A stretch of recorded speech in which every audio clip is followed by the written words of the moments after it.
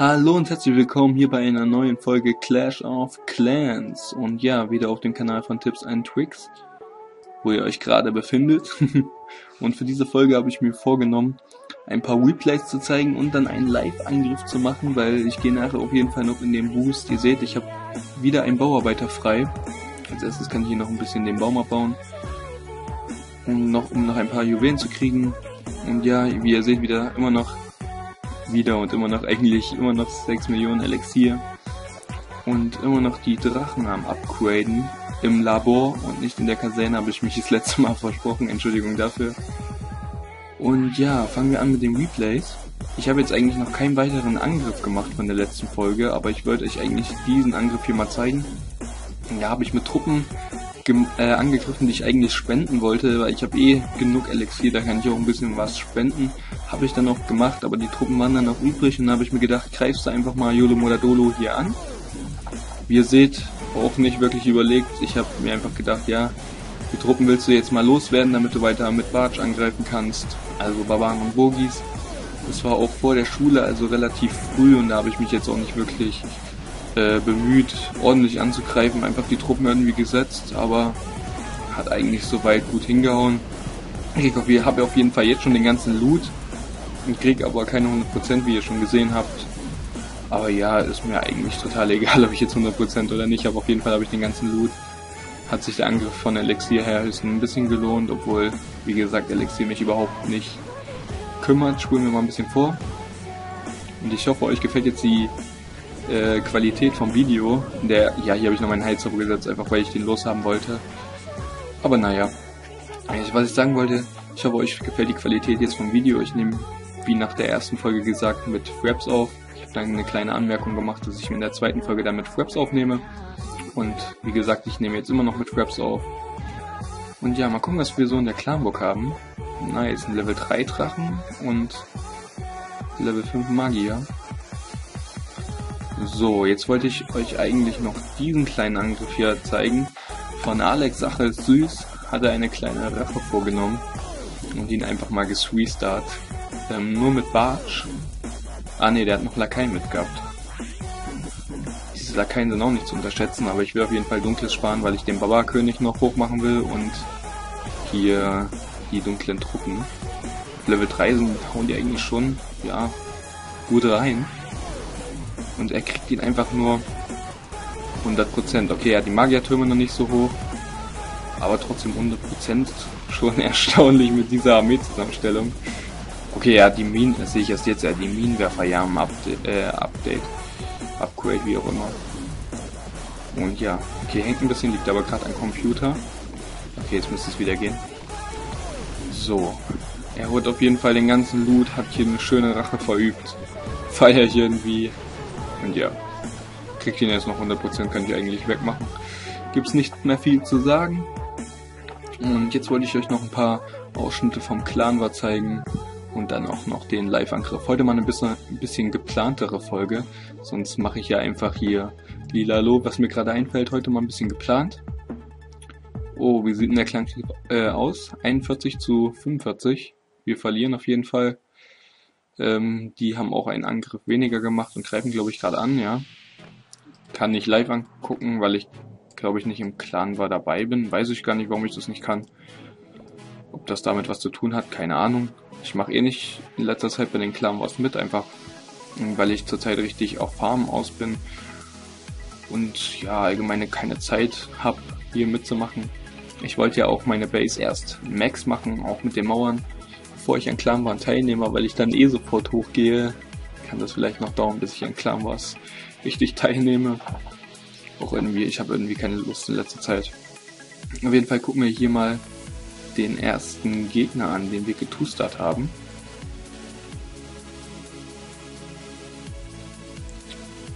Lade, lade, lade, lade. Okay, gut. So, Mal gucken, wie er angreift. Mit Drachen. Okay, der typische halt. Irgendwie die Drachenangriffe. Ich finde die in letzter Zeit so langweilig. Alle greifen im Clankrieg mit Drachen an. Höchsten, also nicht allgemein. Ich meine jetzt bei unserem Clan. Und das ist irgendwie nicht mehr feierlich. Aber, naja. Was soll's. Was kann man hier noch dazu sagen? Greift halt mit Drachen an, geht von unten links rein.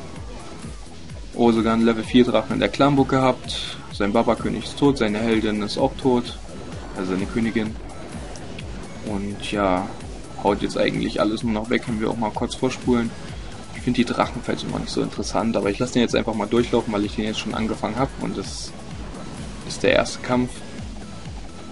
Also vom ersten Platz der Kampf. Lasse ich ihn einfach mal durchlaufen ja, nichts Spannendes. Ratos Level 9 hat die ähm, Luftabwehr noch nicht so hoch, hat die Mauern auch nicht so hoch, da hätte man auch gut mit Go Wipe angreifen können. Aber naja, eigentlich ist das eine ganz schön schlechte Ratos Level 9 Base, wenn ich das mal so sagen darf. Aber jeden das seine, ne? Ich bin ja auch als erstes viel zu früh hochgegangen, ne? das war ja auch mein Problem. Sorry für die kurze Unterbrechung, musste kurz noch was erledigen. Und ja, gucken wir jetzt direkt mal den zweiten Angriff an. Nur ein Stern. Trotzdem mal interessant. Ich würde mir das gerne mal mit euch angucken. Und ich habe diesmal hoffentlich in dem Video nicht vergessen, die Maus auszublenden. Kommt irgendwie atmosphärischer, halt wie am Tablet oder am Handy, wie man es halt spielt. Ich weiß nicht, ob das besser für euch ist oder mit Maus. Ist mir eigentlich relativ egal. Wenn irgendjemand da Wünsche hat, kann er es gerne in die Kommentare schreiben. Und ja, er greift hier mit Drachen und Barbaren und Bogenschützen an. Auch komische Angriffsstrategie. Er will, glaube ich, nur die 50% kriegen. Was ich eigentlich nicht verstehe. Okay, er hat schon ein paar Drachen mit. Aber trotzdem. Eigentlich eine richtig schlechte Armeezusammenstellung, wenn ich das mal so sagen darf. Ich mache mal wieder auf einen, sonst leckt das ein bisschen. Naja, was soll man zu den Angriff sagen? Ich finde den nicht gerade wirklich gut, aber ich finde eigentlich die Truppen, der Angriff ist nicht wirklich schlecht, er kriegt hier eigentlich noch 50%. Die Queen hat sich leider nicht mehr das Rathaus geholt. Ich finde mal die ähm, Zusammenstellung von den Truppen nicht ganz so gut. Ja, passiert jetzt nicht viel, die Queen macht das typische und schießt auf die Mauer, aber ich glaube das Rathaus war auch gar nicht mehr in der Range von der von der Boogie-Königin. Und ja, gucken wir jetzt nochmal die besten zwei Angriffe, nicht die besten zwei Angriffe von ähm, Ah, unser erster wurde noch gar nicht angegriffen. Ich meine natürlich unsere ersten beiden Plätze, die Angriffe an. Hm, ja, jetzt von Julian aus meinem Clan. Hat auch noch eine früh hochgegangene Level 9 Base, sogar noch früher halt. Aber juckt mich nicht. Können sie gerne machen, wie sie wollen. Er hat auf jeden Fall die Bogi-Königin schon Level 8. Das ist auch mal ein Level, da kann man auf jeden Fall richtig nice farmen dann mit der Bogi-Königin. Er lässt sich richtig Zeit am Anfang greift mit zwei Loons, zehn Mauerbrechern, einem Bogi, ein Barbar, äh, drei Barbaren und elf Magiern an und 22 Hawks, ein Golem aus der Klamburg. Eigentlich ist das eine, auch eine ganz komische Aufstellung. Er wollte jetzt hier mit den mit den Ballons, denke ich mal, die Klamburg locken. Lotten. Hat aber leider nicht so gut geklappt. Mal gucken, was er als nächstes macht. Irgendwie gerade spannend. Okay, er überlegt anscheinend.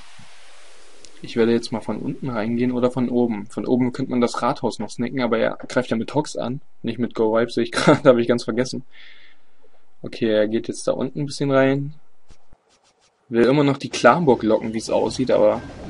Oder erstmal die Bomben, vor allem das ist glaube ich eine Anti-Hock-Base. Ich weiß nicht, ob das so gut ist, hier mit Hox anzugreifen, aber der hat die schon Max. Vielleicht da, deswegen Mal gucken, jetzt, ah, okay, er hat die Kleinburg schon mal rausgelockt. Und will die jetzt bestimmt erstmal zerstören mit Magier. Denke ich mir. Oder mit seinen Helden. What did he do? Okay, er setzt seinen Golem. Im Klamburg setzt er den Golem und dann seinen eigenen Golem. Und probiert mit Magiern dann erstmal die Klamburg zu zerstören. einen Golem hier oben gesetzt, einen unten gesetzt. Und ja, ich finde die Angriffsweisen immer ein bisschen komisch. Ich weiß gar nicht, was ich dazu sagen soll. Wo kommen jetzt die Hawks hin? Mit Hawks und Golems angreifen? ist was Neues, wenn es klappt. Wäre ich erstaunt, aber er hat leider ja nur einen Stern geholt. Und außerdem ist das ja der Gegner. Vielleicht ist er auch ein bisschen geistlich verwirrt. die Queen vom Verteidiger von Julian Regel auf jeden Fall. Die Orks sind schon in der Mitte. Aber am Ende kann er hiermit eh nichts mehr viel Schaden machen, weil die Helden sterben auf jeden Fall nicht. Und die Magier kriegen die Helden auf jeden Fall nicht down. Das Rathaus bleibt auf jeden Fall stehen.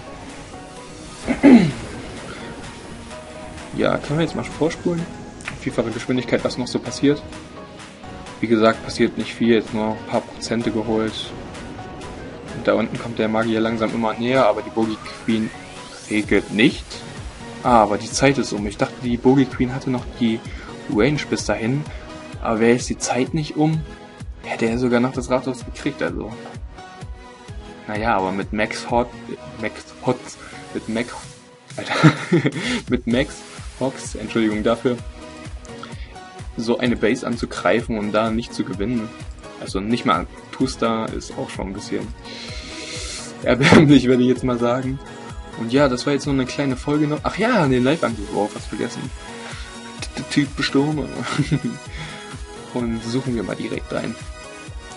Und danach gehe ich. Oh, der erste, alter Leute, der erste. Was ist los in Deutschland? Was ist los? Nice. Auf jeden Fall hier den Magierturm. Okay, so ein bisschen den Magierturm verwirren, dann direkt die Minen snacken. Ich hoffe, meine Maus hört man jetzt nicht zu sehr. So. Dann müssen wir hier unten noch durchbrechen. Ich hole immer das Elixier mit, obwohl ich 6 Millionen habe, einfach weil das dann besser aussieht im Angriff, weil ich dann mehr Loot gefarmt habe. Aber ist ja eigentlich Rain.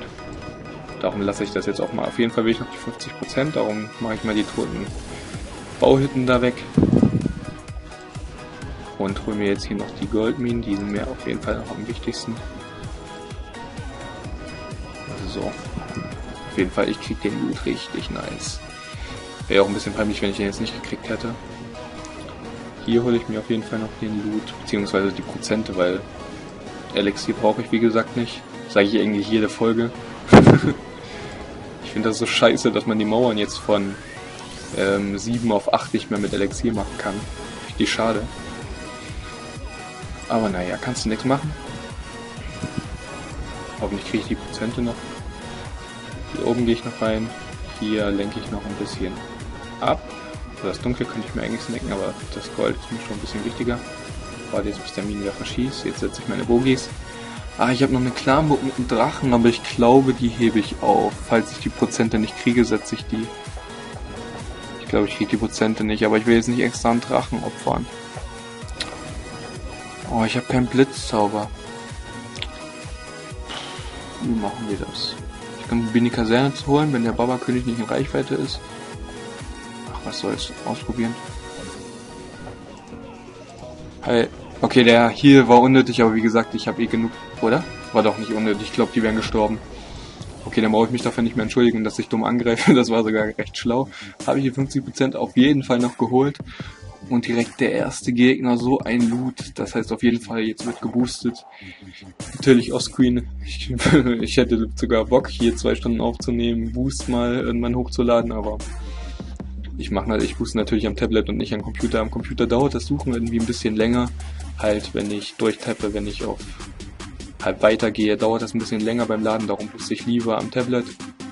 Und ja, dann würde ich mal sagen, danke fürs Zuschauen und haut rein. Über eine Bewertung würde ich mich natürlich freuen.